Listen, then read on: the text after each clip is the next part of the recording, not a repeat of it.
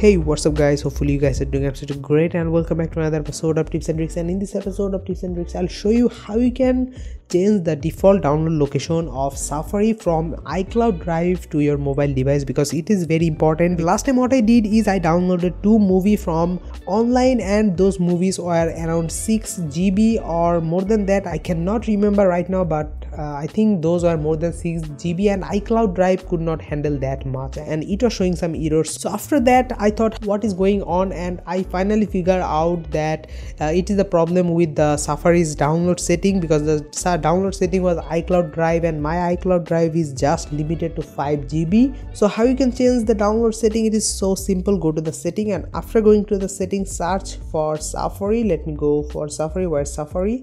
And here is safari and after going to safari just search for this download section and click on download. Change it to on my device. And after that every single download that you do from safari will be downloaded inside these file sections and after this file section on my phone. So it is very simple and that is how you can change the default download section from icloud drive to on my phone. That was it guys. Hopefully right now you can download bigger files than 5 gb it is very cool and very amazing. I hope you guys got the tips.